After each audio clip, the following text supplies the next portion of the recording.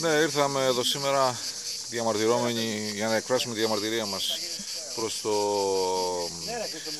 ε, προς το, προς τον Υπουργό, για τον, νο- όχι για τον νόμο, για το προεδρικό διάταγμα το οποίο δεν ξέρουμε τι προβλέπει όσον αφορά το επάγγελμά μας.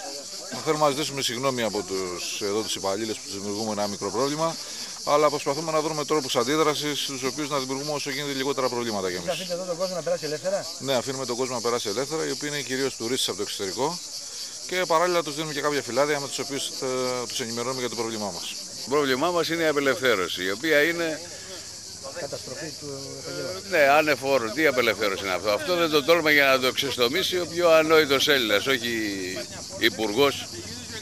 Έτσι δηλαδή αυτός ο κόσμος τι θα γίνει, να, στον δρόμο; Για ποιον δουλεύει δηλαδή, για τα καρτέλ, για εμάς, τους ε, μικρούς που ζούμε με αυτό το μερογάματο, για ποιους δουλεύει; Για ποιον κάνει τώρα αγώνα; Μπήκε στο πρόβλημα να δει εμείς πώς θα ζήσουμε. Έτσι ανεξέλεγκτα άδειες να είμαι, όλοι θα γίνουμε ταξιτζίδες, όλη η Ελλάδα θα γίνουν ταξιτζίδες.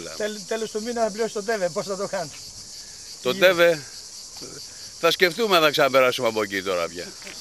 Έχουμε φτώχεια, δεν μπορούμε να καλύψουμε τις ανάγκες μας και έχουμε έναν υπουργό που δεν συνεργάζεται και ξεστόμησε μια λέξη που πραγματικά τρομοκράτησε όλο τον κόσμο.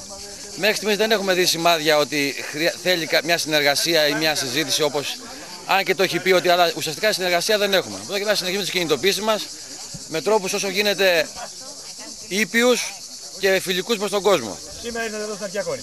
Σήμερα θα είμαστε στην αρχαία, ανοίγουμε το μουσείο ελεύθερα προς τον κόσμο και προς τους τουρίστες αλλά και προς τους Έλληνες ε, επισκέπτες του μουσείου και ταυτόχρονα διαδηλώνουμε και σε αυτούς και τους δίνουμε κάποια φυλάδια και στα αγγλικά φυσικά και στα, ξέ- και στα ελληνικά για να δουν και αυτοί τα, τα αιτήματά μας τι- ποιος είναι ο σκοπός της ε, κινητοποίησης μας αυτής.